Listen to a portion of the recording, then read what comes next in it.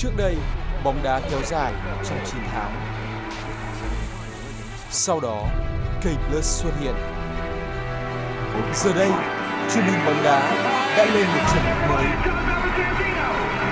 Với mùa giải huy hoàng, đội bóng vinh quang, ngôi sao tỏa sáng và nhiều, nhiều bất ngờ khác, đỉnh cao bóng đá thế giới trên K Plus, chuẩn mực mới của bóng đá trên truyền hình.